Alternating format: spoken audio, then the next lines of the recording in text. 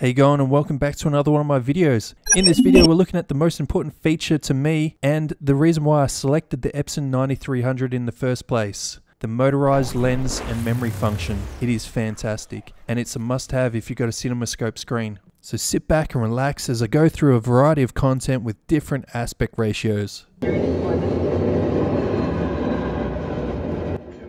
To start with, I'm just showing you my room with the lights on, just so you can get an idea of the size of the screen and the aspect ratio and all that, because I'm going to turn the lights off later on in the video, so you won't get to see all this. What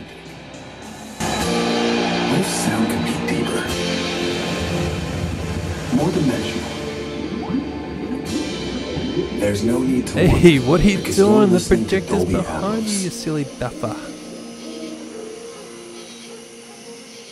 Dolby Atmos, audio can precisely move in any direction within this theater. Whether the sound sweeps from the back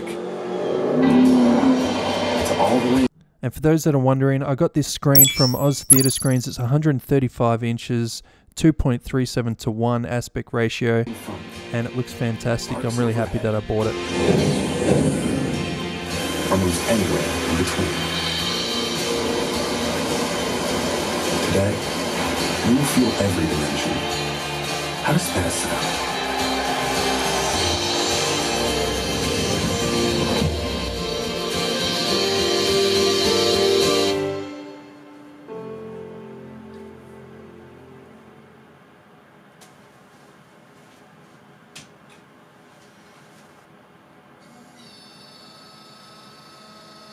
As you can see here, when I enlarge the 16 by 9 image, it overshoots onto the wall and timbers. It lights them up. Eventually I'm going to cover all that with black velvet and it'll look a lot better and you won't see as much of a overshot image extending down past the frame. Also throughout this video have a look at the black velvet they've used on the frame around the screen. It works really well at projecting the light and does a far better job than some other brands that I've seen. And this helps with content that's 235 to 1, 237 to 1, and 2.4 to 1. So you can overshoot the image in any direction you want a little bit and you won't see it.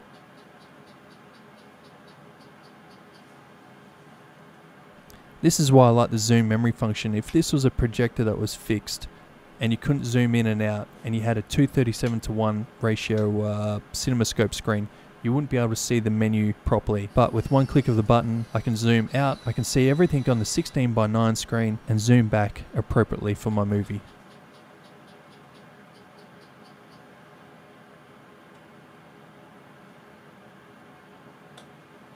This is Dolby Atmos demo disc that I'm playing here. It's really good for showing off to your friends when they come over.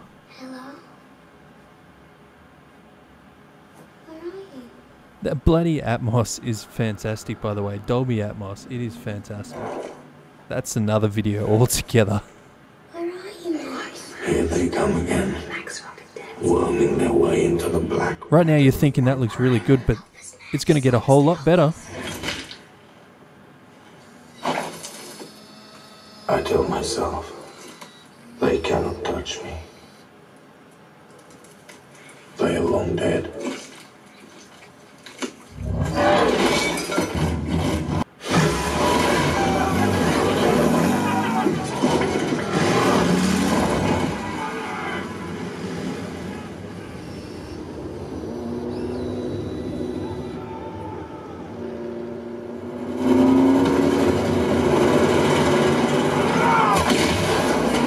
That last video was obviously Mad Max and in CinemaScope. This next one's in 16 by 9.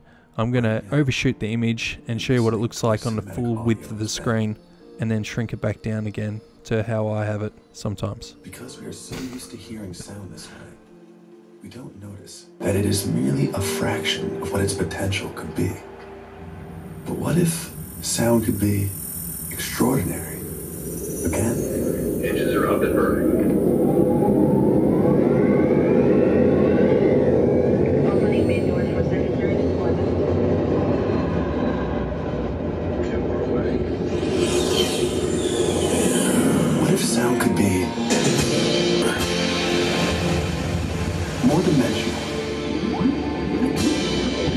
there's no need to wonder because you're listening to Dolby Atmos. In the back, it's all the way in front, arcs overhead, or moves anywhere in between the sound.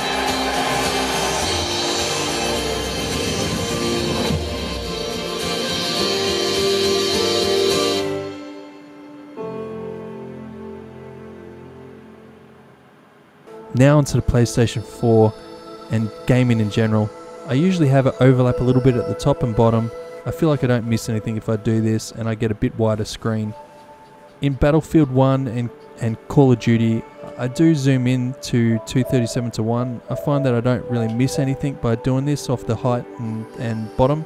Sometimes I even uh, drop it down a little bit as well. I move the image down so I can see a little bit above me. It helps a little bit more in Battlefield 1 where where you have more enemies attack you from above like planes and uh, snipers and whatnot.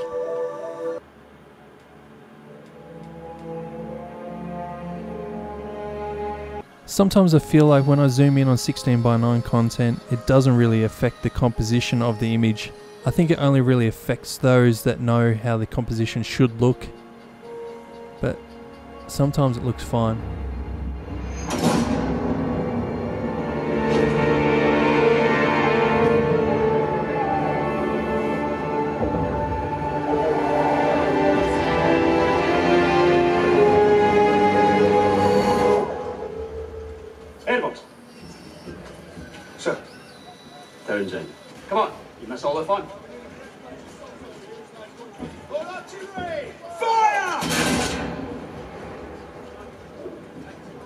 Been looking at your papers. And our new driver, boys.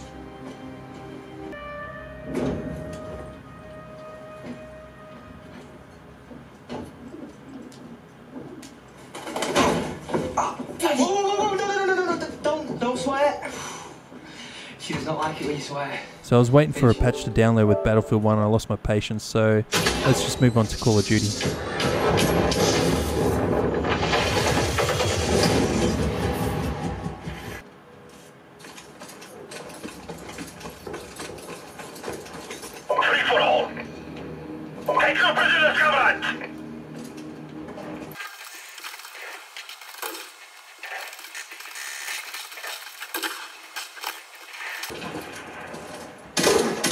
One for the chimp.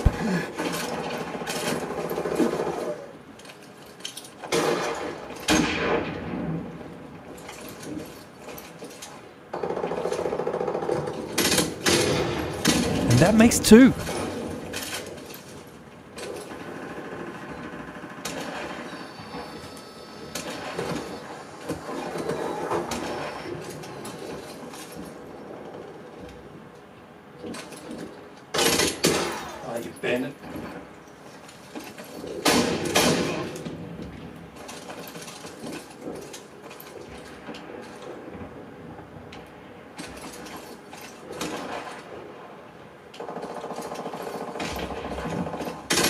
Oh yeah, down you go.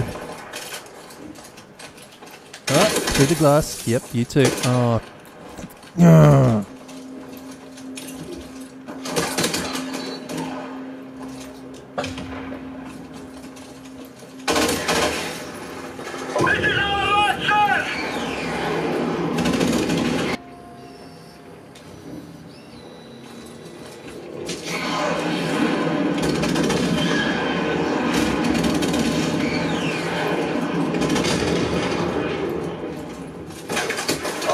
Saw it.